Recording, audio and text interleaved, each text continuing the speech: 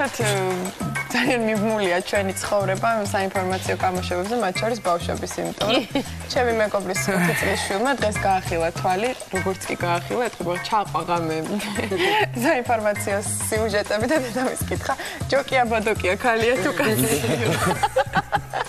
არის ის ნოშვა. 5 წლის ახლა რაღაცა და სულ ეს სახელაგვარი ბოლო პერიოდში რო ესმის მთელი ღამე ეთყობა არ ვიცი ამაზე ეფიქრება. თანადუდა დასამახსოვრებელია. ხო, სამწუხაროა რომ ბავშვებიც კი საინფორმაციო გამოშვებებზე იზრდება. სამწუხარო სხვა რაღაცა. და ეს არა კითხვები არის უკვე. სამწუხარო იცით რა არის რომ მე ლარშიც მაქვს კრედიტი და დოლარშიც და აი ეგ არის სამწუხარო. არც კი ვიცი ჩემ თავს რა ხდება. ნიშნავს. ამიტომ ჩვენს გადაცემას დაუბრუნდა ორი ძალიან კვალიფიციური ადამიანი და ვუხმოთ მათ სტუდიაში გიორგი კეპულაძე, არასამთავრობო ორგანიზაცია საზოგადოება და ბანკების გამგეობის თავმჯდომარე და დავით კიკვიძე, არასამთავრობო ორგანიზაცია საზოგადოება და ბანკების გამოგიდგეთ ხასიარ. გამარჯობა, ხორცი გამარჯობა, მოგესალმებით. აა, პირველ რიგში მე და ბევრ ჩემნაირ მაყურებელს რაღაცნაირად ესეთი პოზიტიური მესიჯი თუ შეიძლება რომ დავიწყოთ ასე ჯობია. რამდენად საგანგაშოა ის მდგომარეობა ქვეყნის ეკონომიკისთვის რაც ჭირს ჩვენს ეროვნულ ვალუტას? მეც მაკითხა ამ კითხვაზე შესაძლებელია პოზიტიური პასუხი. მოგესალმები ძალიან გვიხარია ჩვენს რომ დავბრუნდით გადაიტანეს ლაპარაკი ხო ხედა აა მივესალმები რუსთავიორის მაყურებელს ძალიან რთულია მართლაც რომ რაღაც პოზიტიური თქვათ მაშინ როდესაც ლარის კურსი ასეთ გომარებაშია დაახლოებით 20%-იანი გაუფასურებაა ნოემბრიდან მოყოლებული დღემდე სახეზე. სხვადასხვა ფაქტორები მოქმედებს ამაზე, რა თქმა უნდა. რა იცი, აი ძალიან სახალხო შეგიძლიათ, რომ ვეცდებით მაქსიმალურად სახალხო ენაზე აქვთ ცოტა რთულია. თორე იქ როხნიან რეფერიგებს ფაქტორებით ხა. აუ, ანუ რეალურად ქვეყანაში უცხოური ვალუტა, ანუ ძირითადად დოლარი შემოდის სხვადასხვა წყაროებიდან, რომელიც აბალანსებს, ვთქვათ, ლარსა და დოლარს შორის, ვთქვათ, ამ სხვაობას, ამ გასulit კურსს. ეს არის ინვესტიციები, ეს არის ტურიზმიდან შემოსული, ვთქვათ, შემოვა ტურისტი და ხარჯავს აქ უცხოურ ვალუტას გადაახურდავებს, რჩება ხო ქვეყანაში. ეს არის უცხოეთიდან აი ჩვენი ბევრის ოჯახის წევრი წასულია, მუშაობს საზღვარგარეთ, გზავნილები. ეს შემცირდა, ვთქვათ, რუსეთში და უკრაინაში კრიზისის გამო. შემცირდა ასევე ინვესტიციები ბოლო პერიოდში, შესაბამისად, ანუ ქვეყანაში უცხოური ვალუტის შემოდინება რომ შემცირდა, ამან რა თქმა უნდა გამოიწვია. ძალიან ბევრი რაღაცები გაჩერდა, რომელიც დაწყებული იყო, ვთქვათ, იგივე იცი რა მეკითხო გუშინ უსმინე ჯონის ინტერვიუს სიგნახშიროს ბიზნესია ღვინის. და მან თქვა რომ ტურიზ აი ვიზებთან დაკავშირებითაც არისო პრობლემებიო. ანუ უცხოელები ბევრი ჩამოდიოდნენ სტაჟირებაზე 6 თვეო და ამ ხალხს ძალიან სერიოზული პრობლემები ესეც მოქმედებს თუ არა? ამას უკვე მთავრობა აღარც მალავს რომ შეცდომა იყო დაშვებული როდესაც გარკვეული სავიზო რეგულაციები შემოიღეს იმ ქვეყნების მიმართ რომლებიც მანამდე უფრო მარტივად რომელთა მოქალაქეების უფრო მარტივად რჩებოდნენ ან შემოდიოდნენ ზოგ საერთოდ ვიზა დაუწესეს ზოგ ყოფნის ვადა შემოხიდეს ან ვიზების ლიბერალიზაციაზე მიდის მთელი მუშაობა ევროპას ჩვენთან და ჩვენ ჩვენ გაგვიადიოდეს და ჩვენთან შემოსვლაზე ევროპის მოქალაქეებს დარჩენის ვადები შეიზღუდა ამან ყველა ფერმა ერთად რა თქმა უნდა იმოქმედა. საუბრობენ საერთაშორისო ფაქტორებზე რომ დოლარი ზოგადად ამერიკული ეკონომიკა კიდევ უფრო გაძლიერდა გაიზარდა დოლარი გამყარდა ბევრი სხვა ვალუტის მიმართ ევროს მიმართაც მაგრამ ეს ჩვენ რაც ჩვენ ევრონულ ვალუტას რაც დაემართა ეს არ არის მხოლოდ საერთაშორისო ფაქტორების ბრალი ეს არის იმის ბრალი რომ ქვეყნის ეკონომიკაში გარკვეული პრობლემები გაჩნდა. შესაბამისად თავრობა მთავრობას, რა თქმა უნდა, მართებს უფრო აქტიურად მუშაობა, რომ ეს რაც თქვი, ინვესტიცია მეტი მოიზიდოს, ტურიზმი, განავითაროს უფრო უფრო მეტი უცხოელი ტურისტი მოიზიდოთ, უფრო მეტი, თქვა, გზავნილებზე ხა მთავრობის პირდაპირ ება ალბათ გაჭირდება ხო მაგრამ ანუ აი ეს ყველა ფაქტორები რაც მასზეა დამოკიდებული რომ გააკეთოს რომ ის პრობლემები რაც წარმოიქმნა ბევრ ადამიანს ლარის დევალვაციის ანუ გაუფასურების გამო რომ აღმოიფხროს და გაცილებით ნაკლებ ადამიანს ჰქონდეს სანერვიულო ერთი რამ მინდა კითხოთ რომ რომ ნათლად დაინახოს ჩვენმა მაყურებელმა. თქვა დავიღოთ გარკვეული თანხა და შევადაროთ ასე ვთქვა ლარის გაუფასურებამდე. ვთქვა ამ ვალუტას რა რა ძალა ქონდა რა რა იყო თქვა აი 100 ლარი არ ვიცი რამდენიც გნებავთ და რა მდგომარეობა ახლა მას შემდეგ ნოემბრიდან დღემდე. შეხედე. იბატონო სპეციალად მოვამზადეთ კიდევაც ამისთვის მცირე ასე ვთქვათ ფლაიერები და მარტივი მაგალითი საფუძველზე ვეცდები ახსნა რეალურად მოსახლეობამ როგორ იზარალა კონკრეტულად რა ციფრებშია გამოხატული ეს ზარალი. მაგალითად ვის ვალუტაშია? ხო, თავისთავად, ну დოლარზე აქვს ძირითადად საუბარი ისეთ ადამიანებს, ვისაც ვთქვათ ცეცხლი დოლარში აქვს და შემოსავალი ლარში აქვს. მაგალითად, რო ავიღოთ ნოემბრის თვეში, გასული წლის ნოემბრის თვეში თუ ჩვენ 100 დოლარის საყიდლად გვჭირდებოდა 100 დოლარის საყიდლო გჭირდებოდა დაახლოებით 176 ლარი, მაშინ კურსი იყო დაახლოებით 176. 176 ნოემბერში იყო კი. ადა ვარ. ხედავთ რომ 176 ლარი გჭირდებოდა ნოემბერში, დღესდღეობით 100 დოლარის საყიდლად ჩვენ გჭირდება დაახლოებით 203 ლარი უკვე. უი მე 2 და 4 ვიყიდე. აგე. აა აგიგია ბაი, უნდა დაადოდებოდი ამ დღეს. ხო, ნუ ეს არის საშუალო კურსი, რაც ბოლო პერიოდის განმავლობაში დაფიქსირდა და ხედავთ, რომ ამათ შორის სხვაობა უკვე პირდაპირ ჩვენი ზარალია, პირდაპირ მოსახლეობის ზარალია, ანუ აი ეს 27 ლარი. საკმაოდ სერიოზული. სხვაობა 100 დოლარზე 27 100 დოლარის ძალიან მცირე თანხის მაგალითია, მაგალითად რომ წარმოვიდგინოთ ისეთი ადამიანები, ვისაც სესხი აქვს იპოთეკური და თვეში დაახლოებით 500 დოლარს იხდის, ხო? და ამით ახლებთ საკმაოდ ბევრია ესეთი ადამიანი. უკვე ასეთი ზარალი ამ ადამიანების არის უკვე არა 27 ლარი, არამედ 135 ლარი. 1000-ზე უკვე 170 ლარი. რეალურად ეს არის ის ასე თქვათ თითქოს და დაუნახავი შედეგი, რომელსაც ადამიანი რეალურად თავისი ჯიბიდან იხდის. ეხლა დავით შენ გაუკეთე არც საკუთარ ისე ხო სხვისგან ვიხდიდი რა. ეხლა რამდენად ასე არ ფიქრობდი და უცებ დაგიკონკრეტეს ხო? ერთი მომენტი რაც მინდა ამასთან დავაკავშირო, კიდევ ერთი აი რეფინანსირების განაკვეთთან დაკავშირებით. ხმენიათ ალბათ ყველას, რომ ეროვნულმა ბანკმა გამოაცხადა, რომ მან გაზარდა რეფინანსირების განაკვეთი. რას ნიშნავს ამის გაზრდა მარტივად აგიხსნით. აა პირველ რიგში მინდა მოსახლეობასაც და თქვენს ასე ვთქვათ აგიხსნათ კარგად, რომ ეს არ ნიშნავს, რომ მასობრივად აბსოლუტურად ყველა ადამიანს ადამიანს, ვისაც ეს ხილარში გვაქვს, ყოველას გაიზრდება ეს პროცენტი. ეს ეხება მხოლოდ და მხოლოდ იმ ადამიანებს, ვისაც თავის დროზე სესხი ქონდა აღებული კონკრეტულად აი ამ რეფინანსირების განაკვეთზე მიბმული. ესეთი ადამიანი საქართველოში არის დაახლოებით 7000 კაცი. თუ არ ვიცი რაზეა ჩემი როგორ გამორიცხულია, რო არიცო და იქიდან გამომდინარე, როცა გაიცემოდა ასეთი სახის სესხები, ეროვნული ძალიან მკაცრი განმარტება იყო და მკაცრი გაფრთხილება იყო ბანკების მიმართ, რომ ყველა კლიენტს, რომელიც აიღებდა სესხს ასეთ განაკვეთზე მიბმულ. აი ასეთი კიდევ ერთხელ ავხსნათ რას ნიშნავს რეფინანსირების განაკვეთზე მიბმული. შესაძლებელია ხო ეს მოკლედ აიხსნას. აა კი ბატონო, მოკლედ ავხსნი რა თქმა უნდა, ეს არის მონეტარული პოლიტიკის განაკვეთი MPG, ასე ეძახიან ბანკირები, ცოტა ასაგებადო. იცი რა არის, მე უსმენდი ეროვნული ბანკის პრეზიდენტს, რომელიც გამოვიდა პრესკონფერენციაზე, ბოლომდე მქონდა ტელევიზორი აწეული, ორივე ყური მქონდა გაფართოებული, მაგრამ მაინც ვერაფერი ვერ გავიგე. თავისთავად ეხლა რთულია ამაზე ცოტა დეტალურად საუბარი, იმიტომ რომ ეს არის ძალიან საკმაოდ მნიშვნელოვანი ეკონომიკური ტერმინი და მასში ძალიან დიდი ფილოსოფია არის, ასე ვთქვა და ასე მარტივად ეხ ტელევიზიის სახარხზე და 7000 კაცი რო იძახი, ანუ ეს ცირე ციფრია. ანუ რაღაც კონკრეტული შემთხვევებია. დოლარში გაცილებით მეც აქვს ეს. რა თქმა უნდა, დოლარის მაჩვენებელი დღესდღეობით არის დაახლოებით ვისაც კრედიტი აქვს საქართველოს აღებული, სადღაც 60% აქვს ცხოვრვალ 500000-მდე ადამიანს აქვს დოლარში სესხი. ანუ მათ ყველას შეეხო აი ეს 100 დოლარზე 27 ლარიანი ზარალი. ლარში კი აი ეს რეფინანსირების განაკვეთი, რომელიც არის როგორ აქვთ, ანუ რეალურად ბანკები, ეროვნული ბანკისგან სესხულობენ რაღაც თანხას, ლარის რესურს, რომ მე თვითონაც გაასესხონ, ეს აქამდე თუ იყო 4% ბოლო 1 წლის განმავლობაში, ახლა გახდა 4.5 მილიარდი. ანუ ეროვნული ბანკი კომერციულ ბანკს ეს აძლევს 4%-ში. და ახლა უკვე კომერციული ბანკი თავის რაღაც გარკვეულ იმას ამატებს და მაგრამ ანუ ჯობია თავარი რჩევა აქედან გამომდინარე რაც არის რომ ჯობია იმ ვალუტაში გქონდეს სესხი რა ვალუტაშიც გვაქვს შემოსავალი. ერთი მომენტი თუ გვაქვს ლარში შემოსავალი ჯობია ავიღოთ სესხი ლარში. შედარებისთვის რომ თვალსაჩინოდ გამოჩნდეს რას ნიშნავს ანუ რა ასე თქვა დატვირთვა იქნება ამ მომატებას ისეთი ადამიანებისთვის. მაგალითად თუ ავიღოთ 500 დოლარის მაგალითზე ისეთ ადამიანს ვისაც თქვა 1000 ლარია ყოველთვიურად სახტელი და მისი სესხი მიმული ამ რეფინანსირების ხმების განაკვეთზე დაახლოებით ჩვენ დავთვალეთ და სადღაც 24-25 ლარით ემატება ყოველთვიური გადასახადი. ანუ ხედავთ რომ სხვაობა ძალიან დიდია. მარში მოუცემეს ეს ხა რომ მივიდე იპოთეკურს ბანკი? თავისთავად კი ოღონდ ლარში ნუ საუბარი ის არისო, თემა ის არის რომ ლარში რესურსი საკმაოდ ძვირი აქვს კომერციულ ბანკებს დოლართან მიმართებაში. მაღალი პროცენტია ანუ? კი ბატონო, დოლარში სესხები ანუ ეხლა მაინც დოლარს დოლარში მირჩენია გამოტანა. აი ხო ხვდები რა. არა, თავის უბრალოდ არ გირჩევნიათ. შენ რა ხარ? შემოსავალი გაქვს ლარში, ძირითადი შემოსავალი. შესაბამისად გირჩევნია რომ ყოველთვის აიღო ლარში, იმიტომ რომ სავალუტო კურსის ცვლილებით, გაცილებით მეც წააგებ ყოველთვის ვიდრე ან რეფინანსირების განროგი რა განაკვეთიც არ უნდა იყოს ბიპული, უფრო მეც წააგებ. ასევე ზარალობენ ის ადამიანები, ვინც დაბალი პროცენტია. დაბალი პროცენტია შედარებით დოლარში. რა უნდა ეგ ძალიან მაგრამ თუ ესეთ სხვაობას გაძლევს ის დაბალი პროცენტი შეიძლება ჩემი მაგალითით აქ რამი და გითხრათ დამეთახმებით თქვენს თქვენს და ალბათ მოსახლეობაც რომ ვისაც ულხინს ყოველ შემთხვევაში პურის საყიდად არავინ არ იღებს კრედიტს არც ლარში არც დოლარში.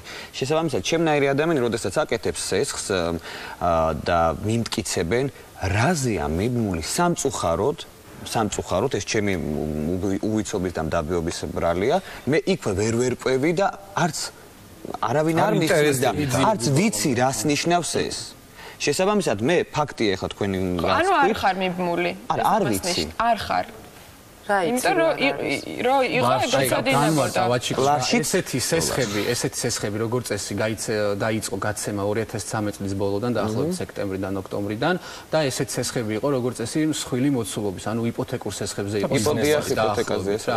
ანუ მანდ ესეთი 1000 ლარიანი 5000 ლარიანი 10000 ლარიანი სესხებიც ძალიან იშვიათი იყო და თითქმის არ გაიცემოდა. ესეთი სესხები გაიცემოდა გრძელვადიანი იყო დაახლოებით 10 წელიწადზე იყო ასე ვთქვათ ფიქსირებული და თავისი გარკვეული კონკრეტული პროცენტი ქონდა. ანუ დიდ თანხებზე იყო საუბარი, ეს იყო ეროვნული დიდზე, რასაკვირ დიდზე საუბარი. იპოთეკური შესხების სხვა. ანუ ყველა ვარიანტი დაზარალებული ვართ ჩვენ ხო? დაზარალებული ვარ, საერთოდ მივდიოდი გვანცა მაპატი არ დამისრულებია უკაცრავად რა. სად მივდიოდი ცი ამ საუბრით, რომ ლარშიც მაქვს ერთ ბანკში და მეორე ბანკში დოლარში. სად მივდივარ, რომ მე თქვენ რომ მარა მე ხო ვერ ხვდები ამას რამდენად ვზარალდები? შესაბამისად მე კი მყავთ კრედიტ ოფიცერი ერთშიც და მეორეში არც ერთს არ უთქვამ ჩემთვის რამდენად ვზარალდები? ერთი წამი არც ერთს არ უთქვამ ჩემ ნუ ანუ ბალკი როგორ ჩანს არ ავალდებული შენ მომხმარებელს ასე ვთქვათ გაგაფრთხილოს და გითხრას რომ იცი რა შეტყობინებებით მოგონ მიიღეს არ მიგიღია შენ. არ ვიცი ჩემთან არ მოსულა შეტყობინება და რა ის კითხვა მინდა იცი რომ ჯობია ალბათ ჯობს რომ მოსახლეობა ვისაც აქვს დიდი კრედიტი აღებული თვითონ გაარკვიოს ეს თუ რა ზარალში მიდის და იქნებ მითხრათ გამოსავალი არსებობს? გეტყვით, ანუ რეალურად ბანკი ვალდებულია, არ არ ვთქვათ რომ არ არის ვალდე, ვალდებულია რომ როდესაც ხელშეკრულებას გიფორმებს, ძირითადი პირობები, რაშიც შედის ასევე თუ რამეზია ეს სესხიბიმული, აუცილებლად უნდა აგიხსნას. შესაბამისად შენ გაქვს უკვე ინფორმაცია რომ თქვა შეიძლება ეს იყოს არა ფიქსირებული საპროცენტო განაკვეთი თქვა 10%-ში გაქვს ეს კი ხო? ეს არ არის ფიქსირებული გეუბნება ბანკი როგორც კი რეფინანსირების განაკვეთი მოიმატებს შენ ეს 10% გაგიხდება 10 და 25 ან 10 და 5 შესაბამისად უკვე გაქვს ინფორმაცია იმის შესახებ რომ ელირო თუ ეს შეიცვლება მე თან ინფორმაციასაც მომაწვდიან გვანცან სწორად აღნიშნა რამდენიმე ბანკმა უკვე თავის მომხმარებლებს გაუგზავნა SMS-ი რომ თქვენ თქვა 1 მარტიდან შეგეცვლება და 9-ის მაგრამ 9 ნახევარი ახარეს კარგად მომატება ხო მაგრამ რეალურად როგორც კიდევ ერთხელ აღნიშნა რომ დოლარში ვისაც ეს ხერხი ის გაცილებით რთულ მდგომარეობაში ყოველწლიური ხარჯი გაეზარდა. ასევე უნდა აღინიშნოს რომ ვინც ქირაობს თქვა ბინას ან უძრავ ქონებას რაღაცას ქიდა ჭიდაობს, მასაც რა თქმა უნდა ძირითადად სამწუხაროდ სავალუტო ვალუტაში, უცხოურ ვალუტაში ეს ოპერაციები და მათაც გაიზარდა. ინვესტორები, ინვესტორები, იმპორტიორების დაზარალდნენ, რომლებიც ვთქვათ, რაღაც პროდუქცია შემოტანილი ქონდათ ან ახლა შემოიტანეს ახალი კურსი. მერე ფასების ინფლაციაზეც გარკვეულწილად ამან იმოქმედა, იმიტომ რომ ეს იმპორტი, ანუ რაც პროდუქცია შემოგვა ხო ძირითადად უცხოურ ვალუტაში ვყიდულობ. აი საწოლზე შეიძლება მაგის გამო გაიაფთა? არა, საწვავზე საწვავზე ხო ქონდათ უფრო ინფლაციებს შემოტანილი ხო? საწვავი, საწვავი პირდაპირ გზით დოლარის კურსი არ არის მიმული, იქიდან გამომდინარე, რომ საწვავის ფასს ოპეკი აწესებს და ანუ მათი ასე ვთქვათ, საერთაშორისო ანუ ბირჟების ფასზე არის დამოკიდებული, სოფლიო ბაზარზე ზოგადად ნავთობის ფასი ვიცი რომ თითქმის განახევრდა და ამიტომაც ჩვენთანაც რა იწიოს ახლა ეს ნავთობის აი იმოქმედებს? რა თქმა უნდა ფასები იმოქმედებს შესაბამისად ქართული ჩვენ როგორც არ ვართ ნავთო მომპოვებელი ქვეყანა შესაბამისად გვიწევს სხვადასხვა წყაროები შეძლება სამართლიანი რო იყოს ეს ყველაფერი ხო უფრო სუბუქი სიტუაცია იქნებოდა მაინც რა მე ესე მგონია რა. ადეკვატურად რო ხდებოდეს ჩვენთანაც რეაგირება ამ ყველაფერზე. თუ არა? მე ერთი მაგალითი მოვიყვანა არა მართალი ხარ ძიმა. ანუ ჩვენ არ ვართ ცლად პირდაპირ ანუ გლობალურ ეკონომიკაზე ყველანი დამოკიდებული ვართ მაგრამ არ ვართ რაღაცა პირდაპირ მიმმული მიღებული და გარკვეულ პერიოდს ველოდებიან, თქვა იგივე ნავთობ იმპორტიორები, მაგრამ ახლა დღეს ვალუტის კურსებს ავბრობთ. ანუ ყველაფერზე აისახა ეს არამხოლოდ თქვა ნავთობის ფასზე, მხოლოდ. ყველაფრის ფასზე რაც არის შემოტანილი. ჩვენ რასაც ვაწარმოებთ, ის შეიძლება არ გაძვირდეს, იმიტომ რომ თქვა ლარი დაეცა. მე მყავს მეგობარი, რომელიც ქირაობს ბინას, ამავდროულად იხდის კრედიტს, ასე ვთქვათ, დოლარში. დოლარში ბინისთვის. და თან მას ოჯახის წევრები ყავს საზღვარგარეთ და ისინი უგზავნიან თანხას. 3 ევროს. დოლარს უგზავნიან, რომელსაც ევროდან ახურდავებენ იქ.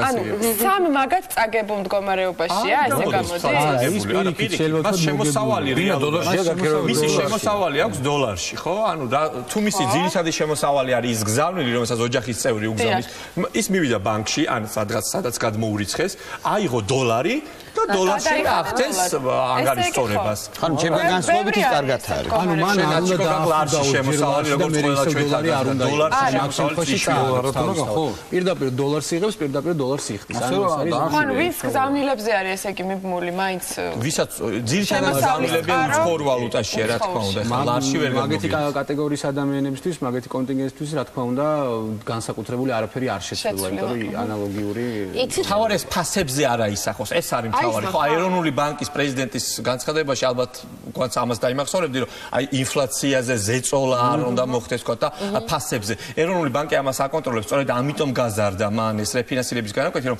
ამ ბერკეტით გარკვეულწილად მოხდეს ლარის მასის შემცირება ფულადი მასის ანუ გათანა ცოტათი მაინც გათანა იქ იქ ხო მეტი გადასახდელი მაქვს ფასი არიზდება იქ მეტი გადა მაინც რაღაცა რა ვიცი. ხო, ასე მარტივად რა თქმა უნდა. ხო, არ არის ახლა ესე, მაგრამ რეალურად მთავარი რჩევა ჩვენი იქნება, რომ ადამიანებმა სესხი თუ სეს იღებენ, აიღონ იმ ვალუტაში, რა ვალუტაში. თუ არ იღებენ და სულ გადატანა, თქვა. ხო.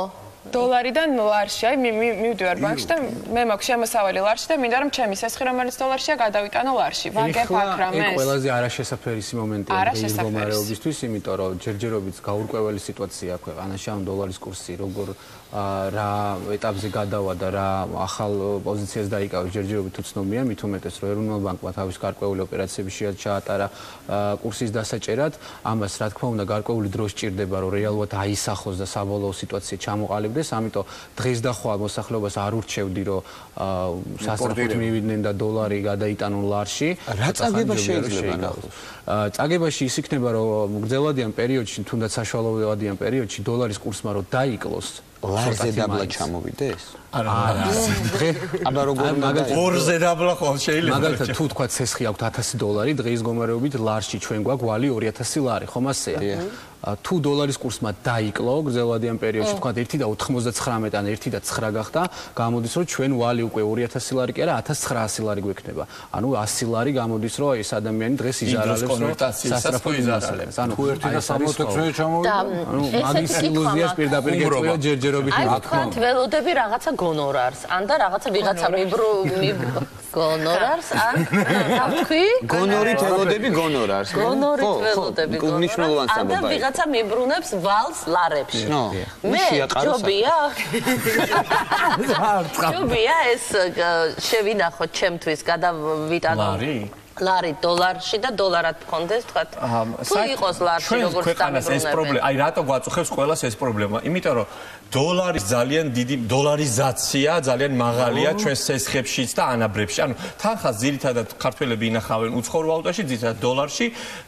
შემოსავალი ხო აქვს ლარში წავლენ გადაახურდავებენ ამას დოლარში შემდეგ ინახავენ ნეტა შესანახი იყო 60% დაახლოებით არის დოლარი. ანუ ძირითადად უცხოური ვალუტა. ну ძირითადად ევრო ნაკლებად. და გირვანკა სტერლინგი კიდე უფრო ნაკლებად. ანუ ეს მაჩვენებელი რახან მაღალია, სწორედ ამიტომ ვართ ასე ბიმული ამ ყოველდღე სავალუტოს კურსს უყურებთ ეროვნული საიტზე შევდივართ აბა როგორ შე ამიტომ თუ ჩვენი მოსახლეობის უმრავლესობა ფულს შეაგროვებს ლარში, ანგარის სწორების ძირითადი საშუალება რა თქმა უნდა ლარია, დოლარი მეტი შემოვა უცხოეთიდან და ეს დაბალანსდება, შესაძლოა კურსიც უფრო შემოდის დოლარი. საბოლოო ჯამში ქვეყნის ეკონომიკის დოლარის ყიდულობდა.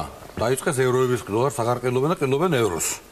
ანუ უცხოური ვალუტის რაღაც გამოხმაურებით ტიპი დოლართან შედარებით. უცხოური ვალუტის ნდობა გვაქვს ძალიან მაღალი, სამწუხარო ეგ არის. ანუ თქვენ თვითონაც კარგად იცით მანქანის ყიდვის დროს დოლარში ყიდულობთ, ვაფასებთ მანქანას. უძრავ ქონებას თავისთავად დოლარში ვაფასებთ. ანუ ეს აა მსხვილი ხელფასებს რო დოლარებზე იყოს, ხო გადავალთ მაშინ დოლარიზაცია იყო მაგაცაც გამიგია ვიღაცები ამბობდნენ რომ შეიძლება გადავიდეთ შეიძლება საბოლოო ისე ისე დავიღუპოთ რომ მაგაზე გადავიდეთ საბოლოო. ანუ რეალურად ჩვენ დაგვრჩენია მხოლოდ მოლოდინი გარკვეული ცვლილებების ასე გლობალურად ეკონომიკაში. ჩვენი მოქალაქეები, ჩვენი მოსახლეობა, ანუ არ დაპანიკდეს ასე თქვა პირდაპირ ვიტყვი რომ აი ესე ისტერიულად არ მივარდნენ და დოლარის შესყიდვა არ დაიწყონ და რაღაც მოლოდინები არ გაუჩნდეთ იმისი რომ კიდევ გაუარესდება მდგომარეობა.